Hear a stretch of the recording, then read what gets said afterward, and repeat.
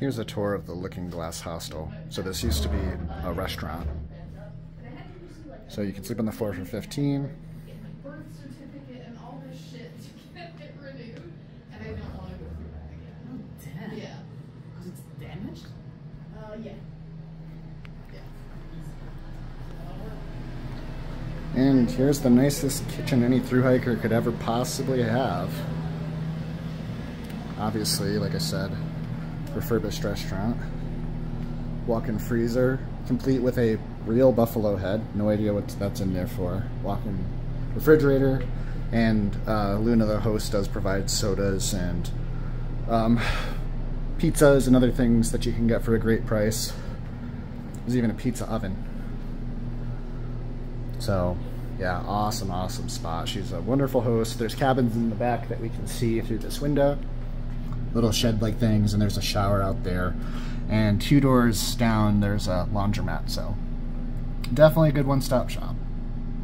This is my friend Warrior rocking some of the hostel clothes. I ended up making pretty good friends with this group of people, so Warrior on the left, Lost and Found in the middle, and that's Trash Panda on the right. This is the super expensive touristy hotel that's in town, and this is inside the main lodge there.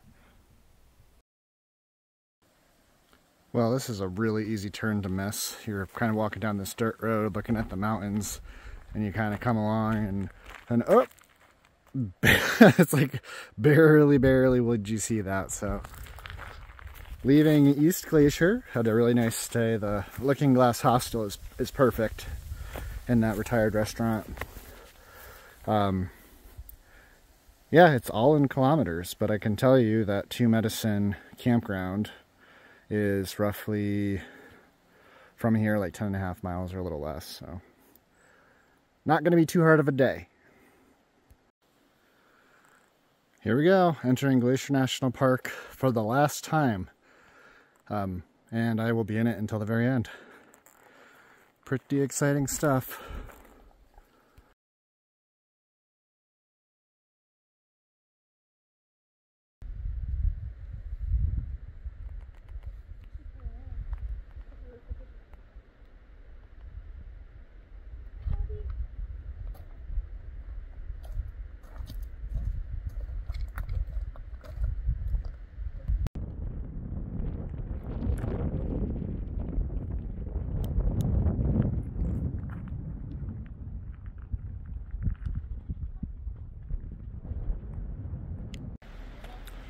Okay, I just picked up my backcountry wilderness permits and all of my reservation and planning paid off. I'm in Two Medicine Campground right now.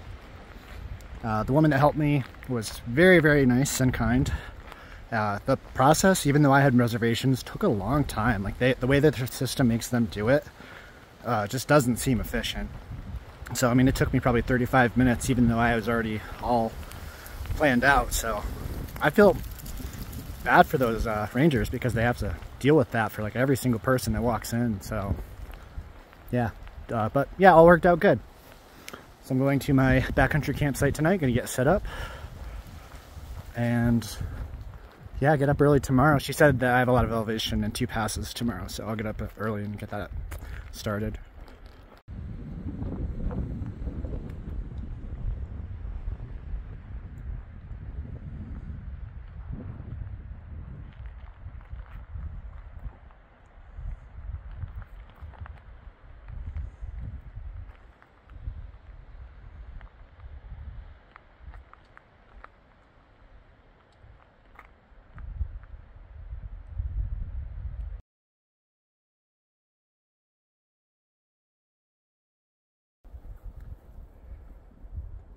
This little dude is less than three feet from me. I kid you not, my foot's right here. He was just right there, little weasel. I saw a couple tiny little white specks on that cliff, and a lot of times that just turns out to be white rocks. But you never know, so I zoomed in with my amazing cell phone camera. And they very much, to me, from here, look like goats. Good start to the morning.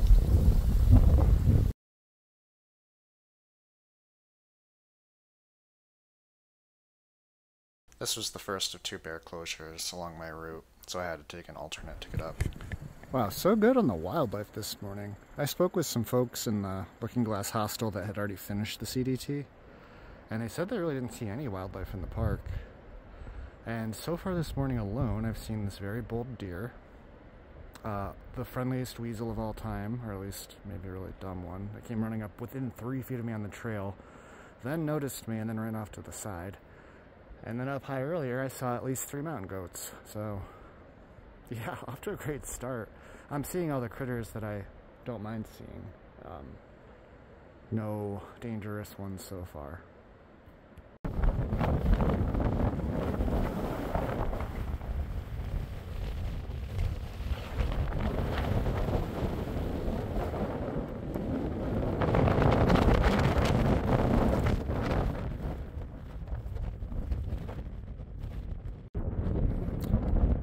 I'm finished with the alternate because of the bear closure, so I'm at Pitamakan Pass, and this is looking down to the south, which is beautiful. You can get a peek out there to the east of uh, the Montana Plains. Big mountains.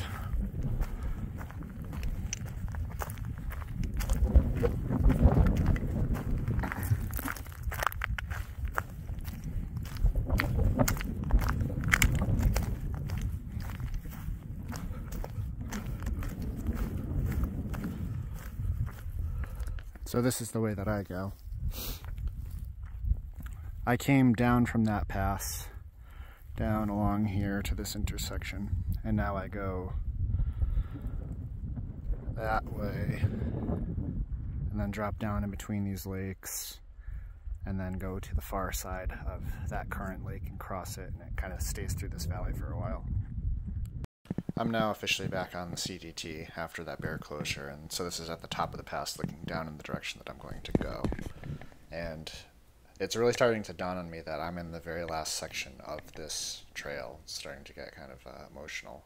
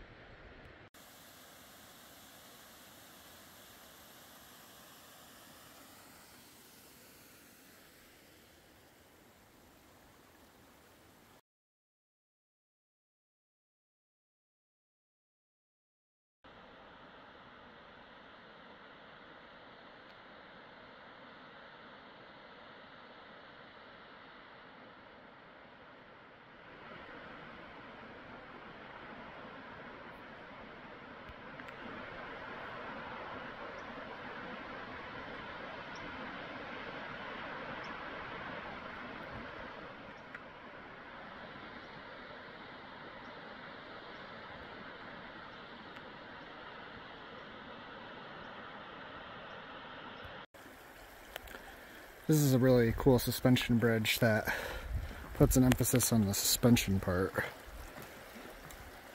it's very bouncy. Whoa. Especially in the middle. I'm actually, I had to take one hand off the phone to hold the side.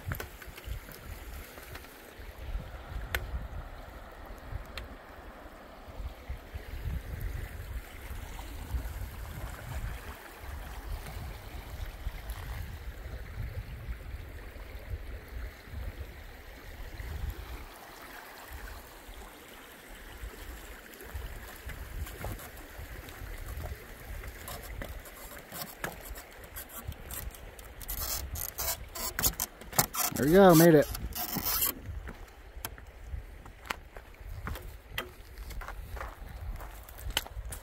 Load limit one hiker at a time. I'm coming down the hill to Red Eagle Lake, and this close one should be Red Eagle Head. And I think the far end, about a mile further, is Red Eagle Foot, where I'm going. So I have no idea how many people to expect to be there. I hope it's not too many.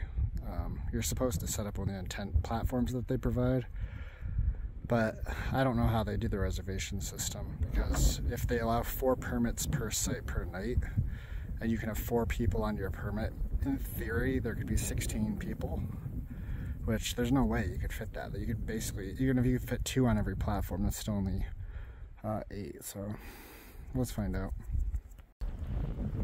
Well, a pleasant surprise after I walked past the very busy Eagle, Red Eagle Lake head, where there was like at least eight plus tents and 12 people.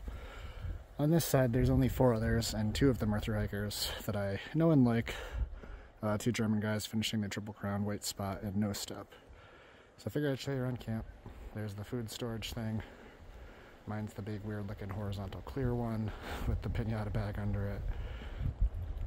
The, all the tent sites are on this burnt hill over here, so there's four of them.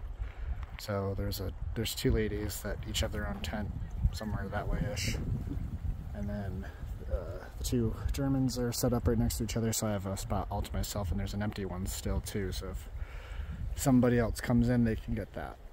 anyway, filtering my water. It is quite a nice view. I'm I'm in a burn, but it's probably the prettiest burn that I have been in. Almost certainly, actually.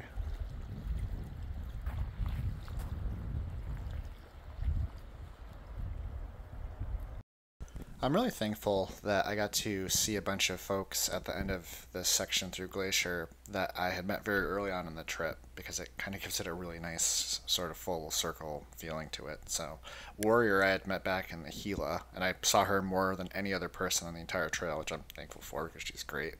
And No Step and White Spot, I met them all the way back probably just about two weeks into the trip in New Mexico as well at the amazing Oasis Trail Magic. So it's great to see those people at the end too and knowing that they made it. So I've crossed the going to the Sun Road. It's been a very touristy, busy day, but that right there is the pass, and it is a beautiful view from up here.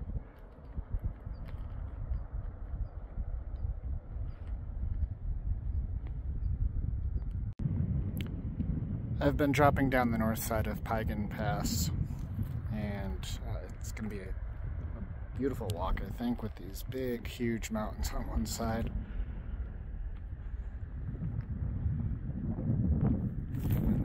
Shadow over there, you can see there's some turquoise glacier melt.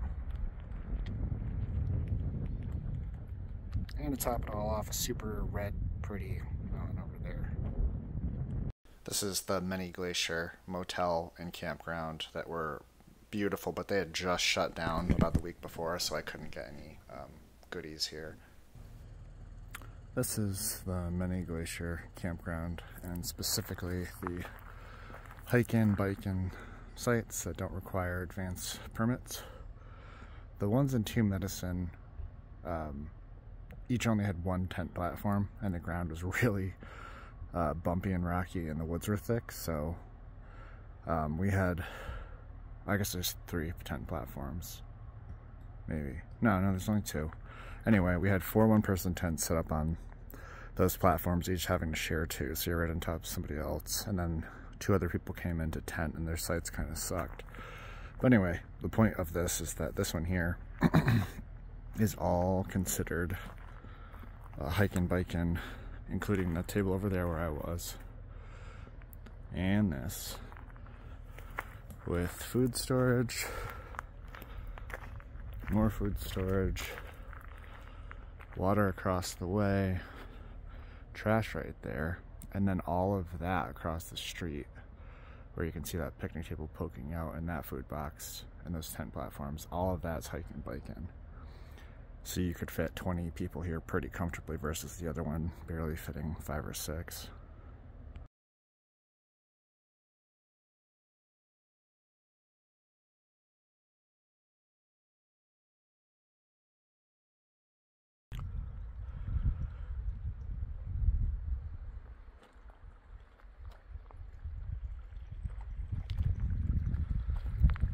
So the trail from Many Glacier to here was very easy. But one thing you'll notice is that it leads to this sort of dead end of this giant cirque. So there is no doubt in my mind that uh, I have to go up and over this ridge, so it's probably got to go this way, right? Like there's no way it goes over those cliffs, but looks like it's going to be steep for the next bit.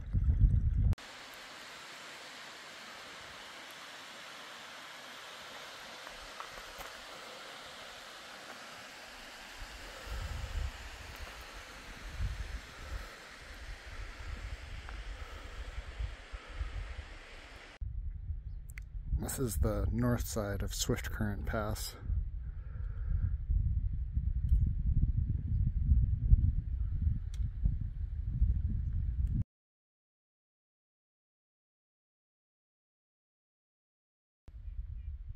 Well, that sure doesn't suck. That's the granite uh, chalet.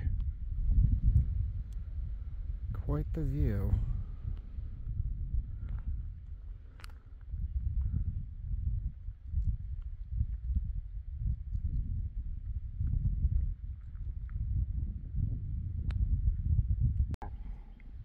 Here's a bit of a preview of where I'm headed. So I'm on this trail right now that's actually going to snake its way sort of way down behind where you can't see out that way.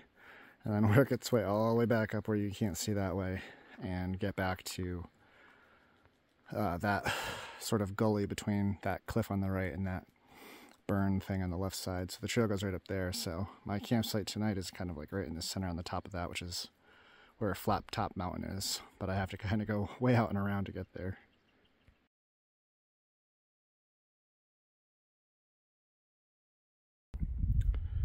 Well, I made it to my last true backcountry campsite for the trip. So this is Flat Top Mountain Campsite. Pretty view, you can tell it's been in a burn. So I might have to look around for a little bit of shade while I wait for sunset since it's only 2 o'clock in the afternoon. But I made good time. It's pretty chilly.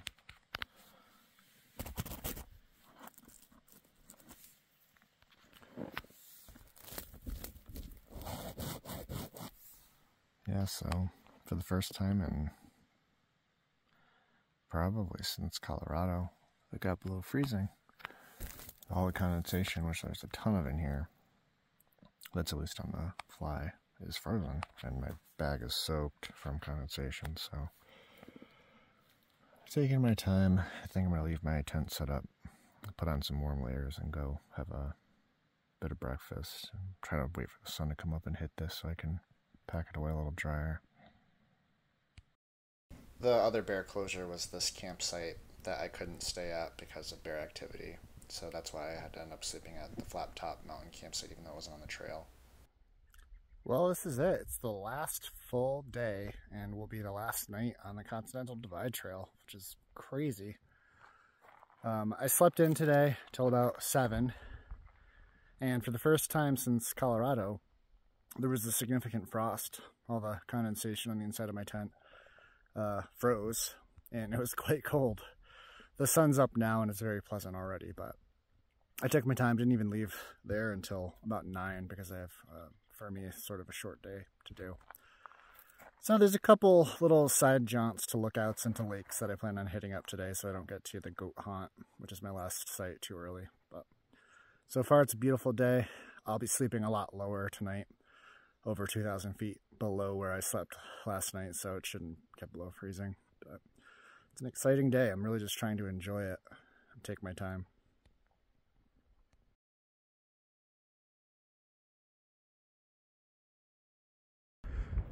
So this is the Highline Trail, which is the actual CDT. And I'm glad I came over here because I do get a good view of what I would have had.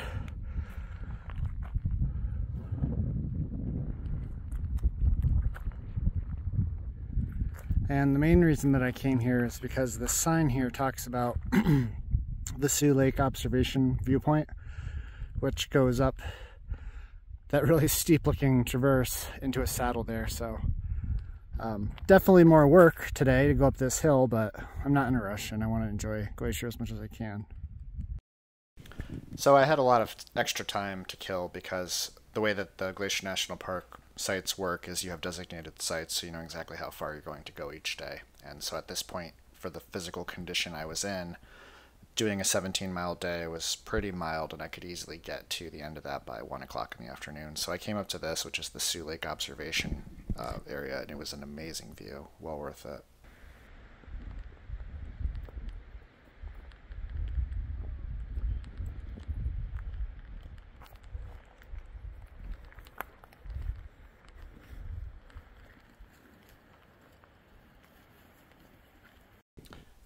Here we are at the beginning of the end.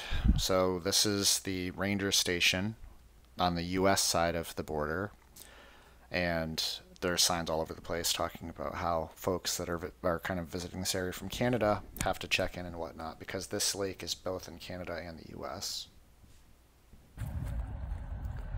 I'm at the goat haunt and I just exploded all my damp stuff out right around here, set up my tent, and threw all my stuff on that concrete to get some sun on it. And then that their boat showed up and unloaded right there. So on a scale of like, of course there's no boat that lands here to, yeah, I expect a boat. It was definitely um, somewhere on the expectations of no boat. That really didn't make any sense. But anyway, I picked everything up. It got dry. And I doubt they do this all day. So, folks are going back to Canada, to Waterton, where I'll be tomorrow. Just got off the phone with my wife. She's boarding her second flight out of Minneapolis, St. Paul to Bozeman. She should be landing in less than three hours. Uh, pretty wild. There's electricity in there. There's bathrooms. I haven't checked them out yet. Running water. And these were not what I was expecting for these shelters at all. Um, I was picturing like Appalachian Trail style wooden lean-tos. But instead these things have these big cubbies and you kind of choose. There's another one over there. Um, you know, concrete pad and plenty of room for a ton of people in there. So I'm the first one here. I'm claiming it. But I think I'm going to go make something to eat because I am hungry.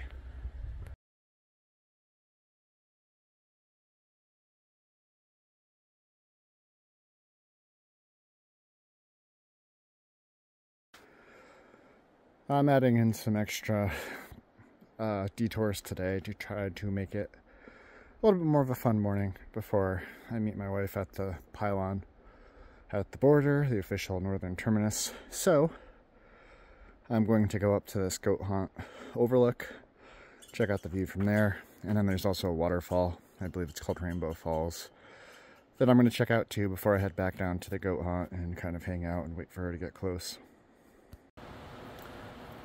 I just hung out with this beautiful view on this nice bench for the last couple hours. Uh, even though I'm just finishing my CDT through hike today with future plans of the PCT on the horizon for next year, I'm already reading up on that and uh, trying to come up with my strategies. So, not a bad place or way to kill some time.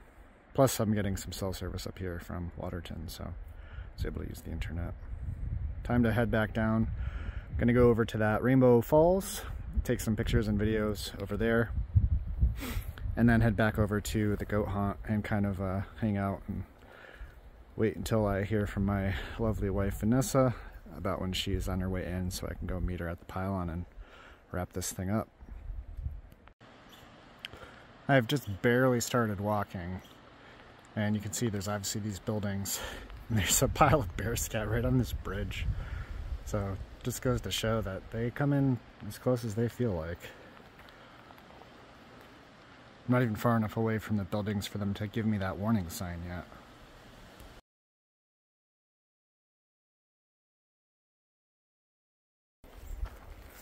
Well, here I am. I've been checking the uh, FarOut app and I've got less than a mile to go.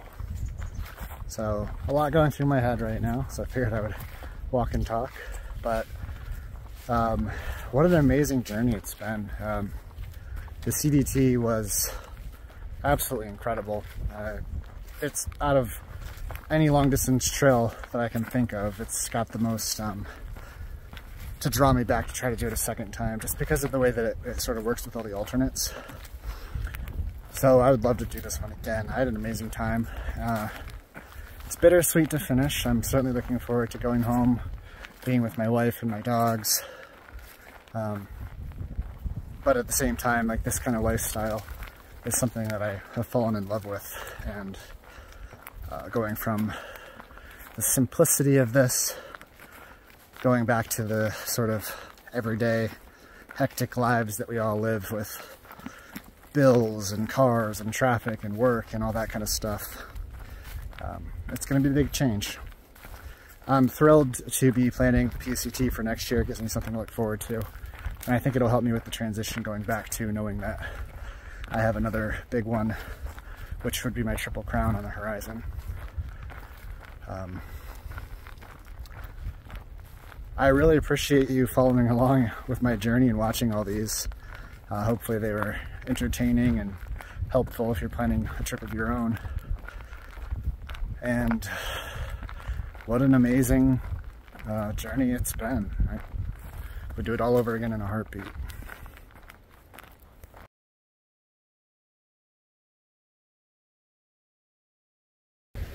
Oh, here it is. A bunch of signs and a pylon. And most importantly all, my beautiful, lovely wife Vanessa, who has come to pick me up.